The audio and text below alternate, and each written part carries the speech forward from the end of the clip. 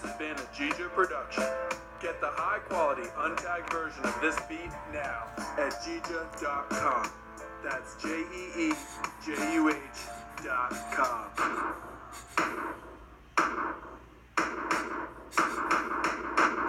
com.